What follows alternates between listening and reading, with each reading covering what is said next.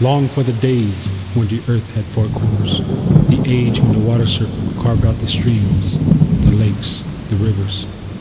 The waters ran swiftly, unabated, uninhibited, and the world had four corners.